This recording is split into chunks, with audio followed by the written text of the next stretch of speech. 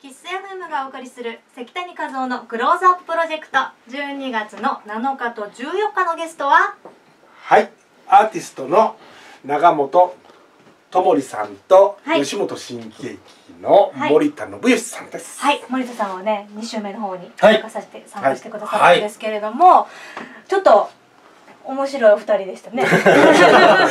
ありがとうございます。はい。ありがとうございます新しい。はい。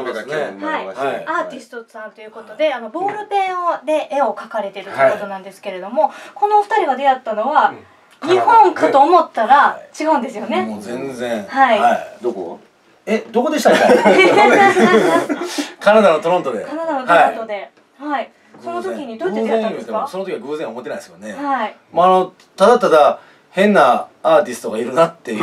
はい。だから向こうも変なやつがいるなっていうことで、ん。たまたまその、お会いするきっかけになりまして。はい。はい、それからあの10年越しぐらいのね10再年会10年ぶりに、はい。今日ここで、はい。突然。はい、再会することになりまして。はい。あの別に私面白いコメント今求めてないんですけどあそうなんですね。違う違う違うこれから言うことに関して。あよかった。あ のさんのあのそのボールペンのはい。絵を改めて見てどんな風に思われます？一つだけ言っていいですか、はい。僕ねあの10年間会ってないじゃないですか、はい。絵のタッチ全く変わってるんですよ。うん。だからこのボールペンの絵初めて見たんですよ。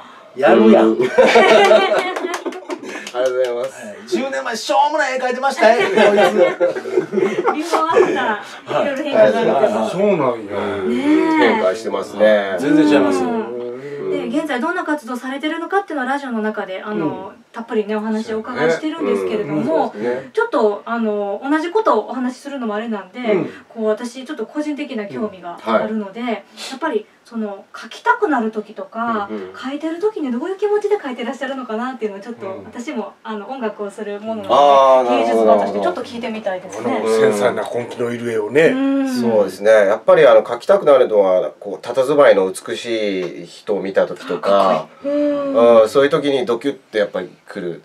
写真家だったら多分シャッター押すと思うんですけど僕の場合はもうそのままの残像をいかに消さずに家に帰って描くかみたいなところはあります。ね。なんかだじゃあ脳裏に焼き付いた、うんうんうんまあ素敵な人だったり景色だったりその物体がやっぱりこう残像みたいに残っていて、うん。それを自分なりにこうそうです。書いていく、はい。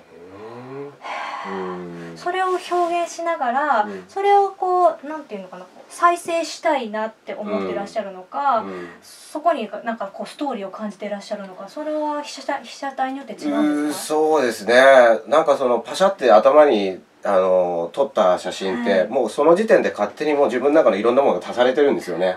なのでもうその場にいる人がそのまま出てくるっていうよりはもうすでにそこはフィルターを通してうん。出てくるんで、うん。やっぱり自分の表現にはなってると思うんですよね。なるほど。その時点で何かこうストーリーがあったりとか、うん。その人の背景であるとか、うん。っていうなんか自分なりのこう感化されるものがあってそれを表していく。そうですね。そうですか、うん。で私も音楽をやっているんでそもう一つ興味があるんですけれども、それをご覧になったお客さん、見に来てくれた方に、そのどんな風に感じてもらえたら嬉しいなとか、うん。その逆にそれは人それぞれとかいろんなねアーティストさんいらっしゃると思うんですけども、そういう意味では、はい。なんか感じてくれればいいです。好きでも嫌いでもいいですしでも何も感じないっていうのが一番やっぱり嫌ですよね。同じです感動私もがないのか。うーんうん、毒にも。毒にも薬にもならないっていうのが一番なんか、あそれが逆にどこでも面白いなって思いますよね、はい、否定されてもいいですし、相手の心を動かしたっていうことがそうですね。うん。森田さんどうですか？それ僕はもう面白いと言われたただただそれだけで生きてます。毒は嫌だ。褒められて褒められたい。褒められて伸びる子。褒められて伸びる子。ぜひ褒めてください やっぱりね、芸術の世界も仕事の世界でも好き嫌いってあるじゃないですか、やっぱり嫌いって言われたり否定されることから学ぶこともすごい多いですもんね、関谷さん。そうだよね。ねえ。うん。まあそんなね長本さんは芸術を使っていろんな活動をはいされてるということなので、はい。実際にどんなことをされてるのか、はい。本編の方でね、はい。じっくりお伺いしていきたいと思います。はいはい、とい。うことでぜひ。はい聞いてください。お願いします